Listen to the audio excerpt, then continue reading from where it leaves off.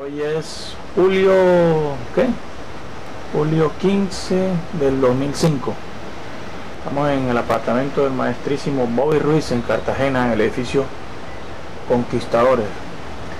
Maestro Bobby, ¿usted dónde nació? Yo nací, eh, bueno, mi, mi, mi fecha, mi, mi- pueblo, yo nací en, en, en Sautatá, Río Sucio. Sí, claro que yo, yo me crié en Cartagena. Por eso yo, digo- yo le digo a todo el mundo que yo soy cartagenero. Pero mi, mi, mi tierra donde nací es en Sautatá, un pueblo que queda a la orilla río a- Atrato, donde había un ingenio. Mi papá era, inge- era químico azucarero. Entonces yo nací allá. Pero a los poquitos meses me trajeron para Cartagena y aquí me crié. Y aquí, aquí, ¿Eso aquí. ¿Qué departamento es? Ah, Chocó. Chocó. ¿Usted es chocuano? eh? Sí, sí. Eso no lo sabe nadie. Yo nunca lo he dicho. Yo no he tenido la oportunidad de decirlo. No es porque lo vaya a negar ni nada. ¿Y cuál es su verdadero nombre, maestro? Rafael. Rafael Enrique Ruiz. Romero. Ese es mi... eh, un locutor en Barranquilla me puso Bobby. No sé por qué Bobby son los Roberto. Pero él, él se le dio por, por ponerme Bobby. Y ahí estamos. ¿Qué fecha nació usted, maestro? El, el, si- si- el 6 de julio de 1926. 78. Cumplí, hace poquito cumplí los 78 años. ¿Cómo fueron sus inicios en la música? Mis inicios en la música fueron lo lo- la, la cosa más sencilla. Por donde yo vivía, en el barrio Boston, aquí vivía mi familia, yo vivía por ahí. Por ahí pasaban los músicos que iban pa- para Tesca, para un, para un, un barrio de, de- ¿cómo es? de prostitución, prácticamente, donde llevan las mujeres a bailar, los hombres a buscar mujeres. Y, y- pues, ellos pasaban por ahí hasta me dijeron, ¿usted quiere a, tra- a trabajar? Y yo, claro, si, si, si- si mi mamá me da permiso, yo voy. Entonces así pasó.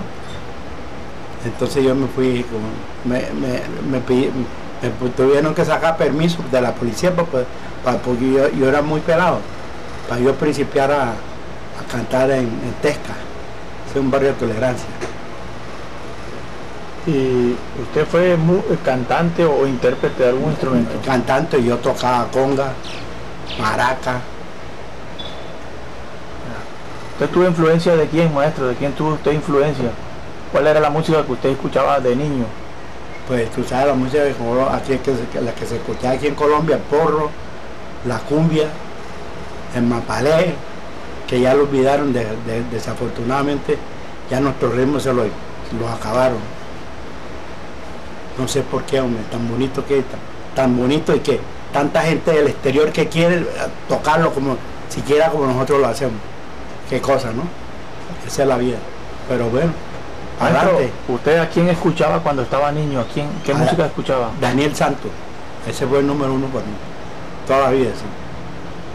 Yo lo escuchaba desde Cuba, aquí en Cartagena, oía eh, Radio Patagás, donde él actuaba. Lo mismo Orlando Guerra, Cascarita, ¿te acuerdas? Orlando Guerra, Cascarita. Esos eran mis, mis ídolos. Yo, yo, yo- oyéndolo a ellos, yo principié a cantar. Cascarita, ese, el papá de Willy Calderón. Ah, no, No, no, este es un Cascarita cubano, un showman, Cascarita, ya, ya, ya. Cascarita, Orlando Guerra se llama. O sea, que usted escuchaba era música cubana. Pues mucho, sí, aquí entraba muy, muy bien la música cubana, aquí en la emisora, aquí en Cartagena, en esa época. Entonces, yo me gustaba mucho oír esos programas de, de, de Cuba, aquí entraban bien claritos. Y entonces ahí yo, yo- yo me fui, yo me fui amañando con esa música. ¿Y qué música colombiana, costeña se escuchaba? ¿Quién había grabado en esa época? Pues aquí estaba fue emisora Fuentes, Toño Fuentes, con el, con el que yo grabé, eh, ¿tú te acuerdas de Currimbi? Hay Currimbi no te vaya. Y, y, baila Simón con el clarinete, eso lo grabé yo con la orquesta melodía, de, aquí de, de- eh, o sea la emisora Fuentes, orquesta emisora Fuentes, di- dirigiendo Carlos Arnedo, un, un gran clarinetista. El currimbe es de él, la mano de compuesta no es de él, Eh, Currimbi sí es de él y Baila Simón es de él, autoría de, de, de, de Arnedo, Carlos Arnedo, que en paz descanse. ¿Qué otras orquestas usted escuchaba en esa época aquí en Cartagena, maestro? ¿Qué otras orquestas, qué grupo? La orquesta de Maestro Pitalúa. Con esa se inició Lucho. Lucho fue el músico de la orquesta de, De la A número uno, De la A número uno, sí. de José Pianista. Exactamente. Lucho fue músico de, de esa orquesta. Cuando, cuando, ah, cuando él hizo su, su banda, que se llamó la, la Orquesta del Caribe. Esa era, esa, era, esa era una de las mejores orquestas que hay aquí, aquí en Cartagena. Desafortunadamente el, el hablado mío me quedó un poco gangoso, pero bueno, para adelante. Maestro, ¿y usted cuándo llega a Medellín? ¿Usted cómo se vincula a la orquesta de Lucho Bermúdez? Pues aquí había un familiar de Lucho que me oyó cantar aquí cuando yo formaba parte del conjunto Miramar, de, Víctor Nieto.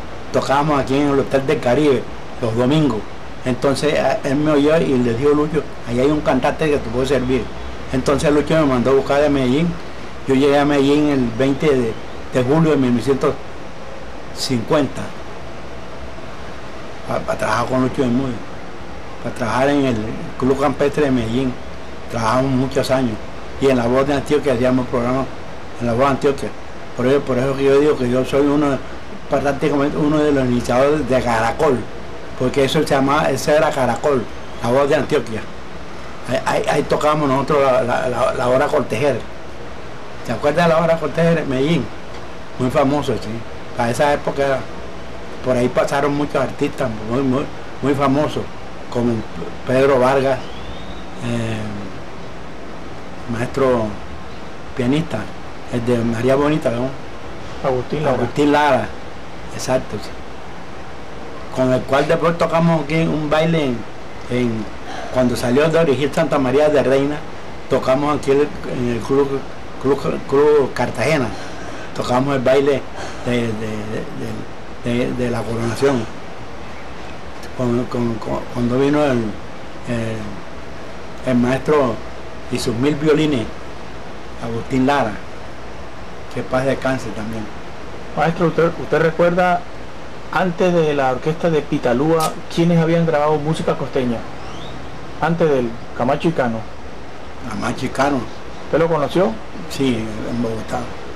Sí, tú, tú- y mucha gente allí pues, de esa época se, se grababa mucho porro aquí en Cartagena. Era, era la época del porro, que desgraciadamente ya se acabó.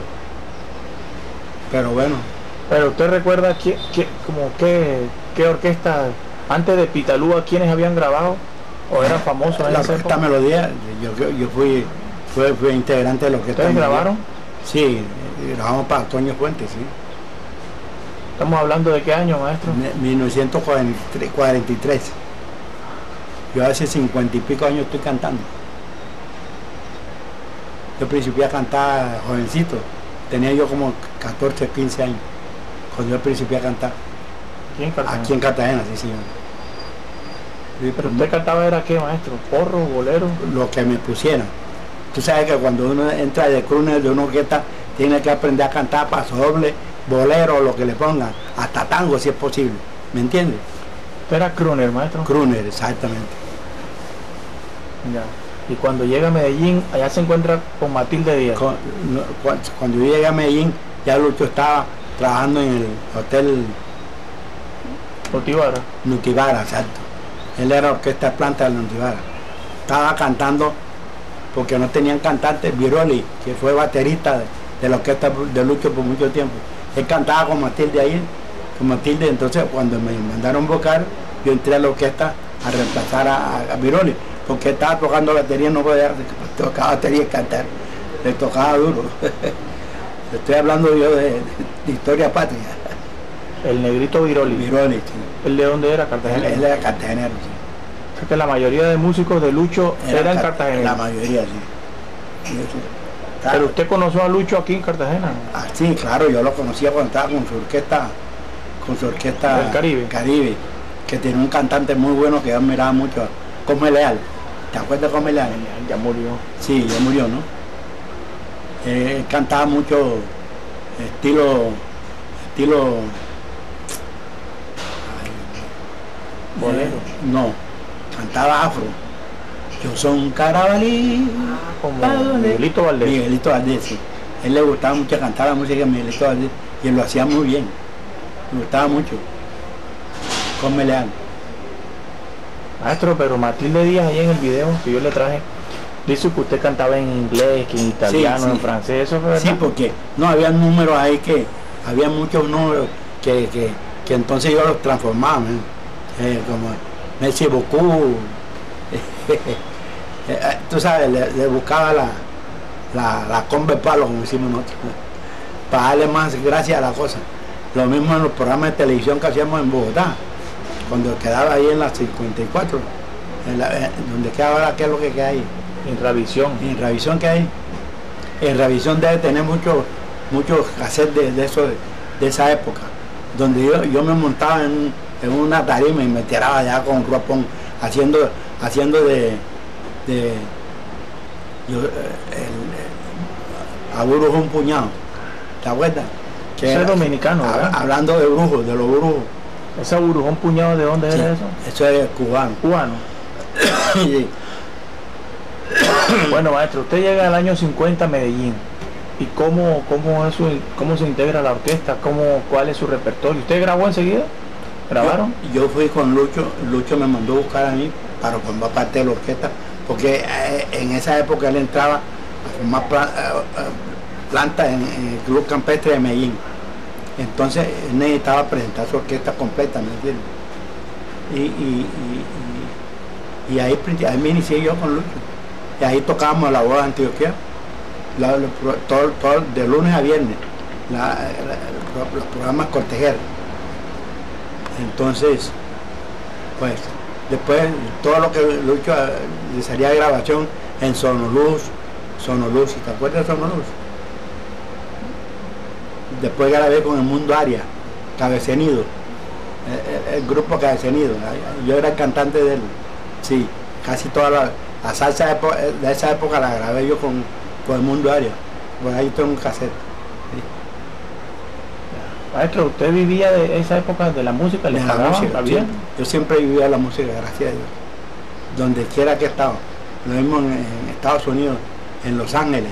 Viví muchos años en Los Ángeles. Y viví muchos años en Miami. Y estuve en, en- estuve en, en, ¿cómo en, en Canadá, Montreal con Carlos Julio Ramírez. Le- le hicimos un grupo para Carlos Julio Ramírez, para hacer una tour- un tour en toda la, la provincia de Quebec. Entonces yo, yo, yo, yo andaba con Carlos Julio Ramírez. Él nos, Carlos, Carlos murió ya, sí, que en paz descanse. ¿Qué cantaban por allá? ¿Qué, qué? La música colombiana, Pero del interior, de la costa, de todo. de todo, todo. Eh, hicimos un grupo que se llamaba el- tocamos en la casa de Ron, una, esa es una en la Expo del 67. Llegamos nosotros allá a, Montreal a cantar en, la, en la Expo del 67, en un sitio que se llamaba la Casa de Ron. Ahí teníamos un grupo de puros colombianos. Estaba el muchacho bogotano que, se llama el Coca-Cola. Le dicen el Coca-Cola, baterista. Timbalero, ahora tiene una orquesta allá en Montreal. Una orquesta de salsa, sí. Bueno, maestro, usted llega del 50 a Medellín. ¿Cuántos años duró Medellín con Lucho? En Medellín duré 18 años. O sea, del 50 al 68. Al 66 que me vine para, que me vine para, para Nueva York. No, maestro, pero si ustedes estuvieron en Bogotá. Sí, Ustedes yo- llegaron a Bogotá en el 61. 62. De Medellín salimos en 62. Llegamos del, del Club Medellín, llegamos a Bogotá a trabajar en el, la- en el Tequendama, Salón Rojo, exactamente. Y, en el, en el Candilejas, ¿te acuerdas? De donde iba mucha gente allá a Candilejas, un gran sitio. No sé si existe todavía Candilejas, ya no, se acabó. En la 13, no sé con qué